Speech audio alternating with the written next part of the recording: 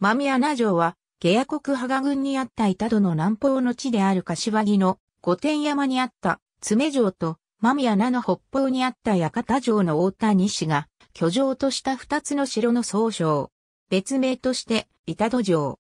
応永年間、下野国派が軍板戸を支配した宇都宮市の家臣の土豪大谷氏の居城として、時の当主、大谷高俊によって、板戸と間宮穴の境界の地に、館城が築かれたのが、間宮穴城の始まりである。伝承によれば、東西80県、南北60県の大きさであった。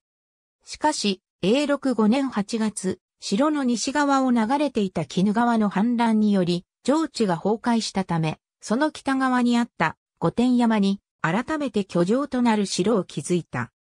天正18年、豊臣秀吉による小田原征伐が始まると、時の城主大谷光家は、はじめ北条方であったため、秀吉の命により、田中義政が2000の兵を与えられて、間宮名城を攻撃、光家は籠城し、近隣の仮沼の領主、直一長政の援軍を得て、これを撃退した。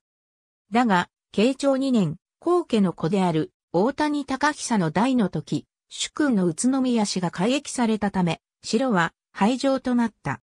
現場と栃木県市 P387 間宮名城市の項。ありがとうございます。